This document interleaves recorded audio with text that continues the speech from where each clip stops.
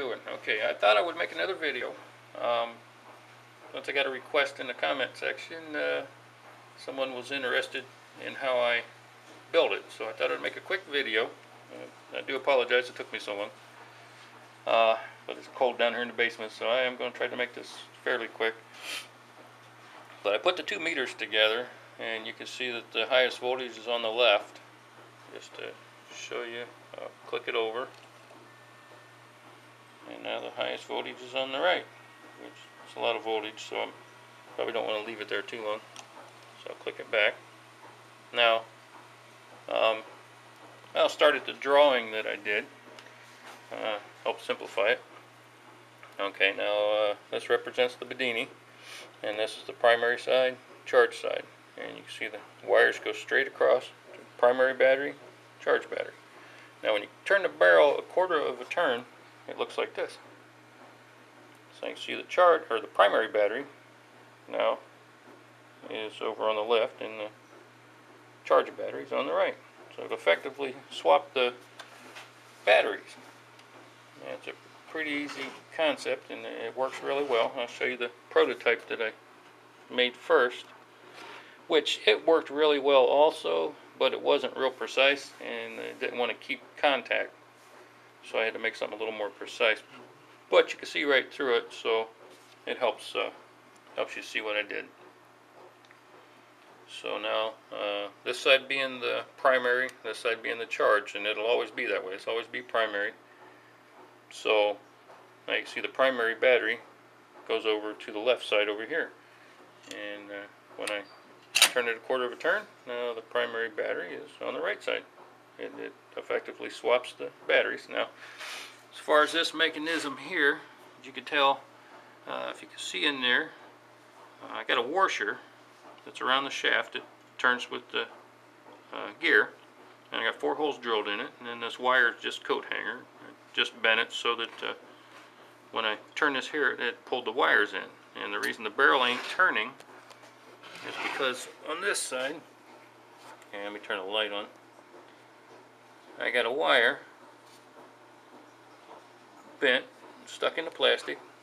Now when I turn it, that stops the, the barrel from turning until the wire clears and then it turns. And that wire will stop the next one so it actually turns a quarter of a turn. Like I said, this one here wasn't real precise, but it, it showed me that it would work. Where am I at? Okay, here we are. So, uh, and actually I, I stuck the gear on it. My first idea was to use a clock motor, put a gear on it, and uh, mount it down, put a screw in it, and believe it or not, it worked really well. It took about 14 hours for it to click over. Unfortunately, I never got to see it click over. I was never here at the exact time, but uh, it did click over. Um, and, it, and it worked, but uh, but I had to build one a little bit more precise so that I didn't have any problems. Uh, but the one thing that I wish I would have done, and I'll probably still do, I should have uh, drilled these holes here. This is the primary side. I should have drilled these holes a little bigger. That way the wire would have been a little bit shorter. What I ended up doing was putting some super glue over the holes to effectively shorten the wires. Uh, that way when it clicked over, uh, it would disconnect the primary first and then the charge battery. And then when it uh, reconnected, it would connect the charge battery and then the primary, which would uh, ensure that uh, the lights didn't flash so that uh, there wasn't being any excess load on the transistors and burning them out as I went through that. But uh, when to show you that works, you see the highest voltage is on the left and I'll click it over and uh, so you can see it doesn't uh, light any lights. Okay I clicked it over. Now the highest voltage is on the right. And I'll click it back again. And no flashing. And uh, like I said uh, all, all I really needed to do was uh, drill these holes a little bit bigger. And uh, Sorry I didn't tear this apart it, it's a lot of wires and stuff I was hoping that uh, just putting it on paper and showing you my prototype would uh, be enough information. But if not, uh, feel free to give me a comment. If you want me to tear it apart, I'll do that.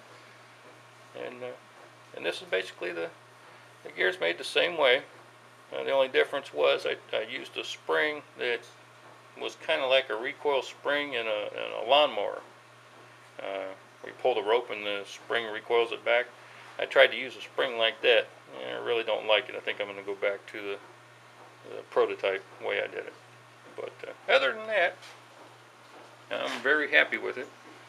And uh, but my idea was originally I got a 400 watt converter, uh, and when the battery gets low, it'll sound an alarm. I was going to tap into that alarm, and instead of sounding an alarm, I was going to have it turned over a geared motor so that it would turn this over. Um, so when the alarm sounds, it turns this over, swaps the batteries, uh, then the alarm will stop sounding, it'll stop turning, and uh, it should be a self-running system then. I really haven't tried it, but uh, and the reason I haven't tried it uh, is because I had something happen that was extremely exciting and interesting. Uh, what happened was I had the primary battery running the converter and then I had my bench light plugged into the converter. Um, I wanted to see how long the primary battery would stay up so what I did was I charged up the primary battery and the charge battery and then I started the Bedini had the everything running light on. And my grandson was on the bench uh, building his own Bedini and I was working on the tractor outside. I came in a couple hours later and the primary battery didn't go down. It still was about the same. So you know needless to say I came in you know pretty often 20 minutes half hour to check on it to see you know if it was going to go down. And uh, the next time I came in it actually went up and then it went down.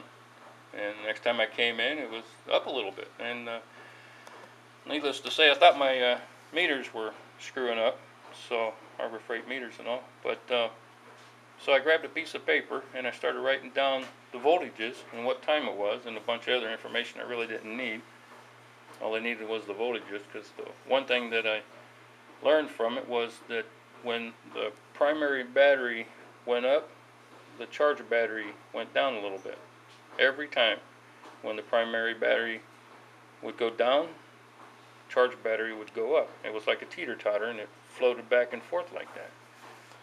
And uh, it maintained that way for a few weeks probably probably closer to a month and then I, I uh, decided that I would just go ahead and build a big one. So needless to say I really never got to hook up the battery swapper to its full potential yet because uh, it just kept running. Um, so I decided to build a bigger one, and uh, I don't know if you can see it or not. I'll turn the light on. But, yeah, but anyway, it's my new one that I'm getting ready to build, or in the process of building, I should say. Uh, and my idea now is to build one and uh, have it hooked up, and if it'll sustain itself, uh, I'll see if I can hook like a windmill generator to the end of it.